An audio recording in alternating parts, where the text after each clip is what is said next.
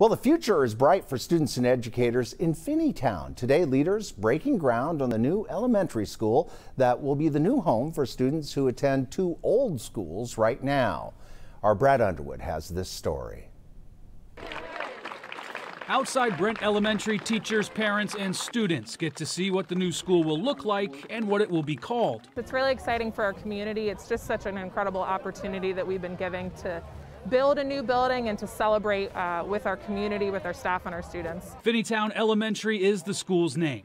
Principal Meredith Baker says the new school will include learning communities where there will be collaboration between classrooms and even between grade levels. Really an opportunity to change the way that we're teaching. Um, it's not 1950 anymore. Our kids aren't sitting in desks and rows. So this new building really provides a chance for us to be able to have students learn collaboratively and work in groups. And, you know, the way our buildings are built right now, we just can't do that. Currently, kindergarten and first graders go to Brent Elementary. Students in grades second to fifth go to Whitaker Elementary.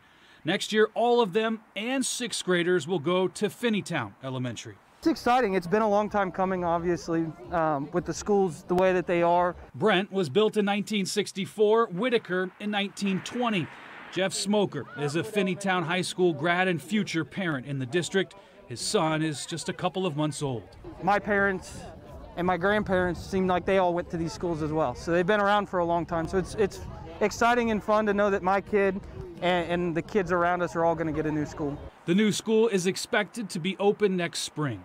In Finneytown, Brad Underwood, Local 12 News.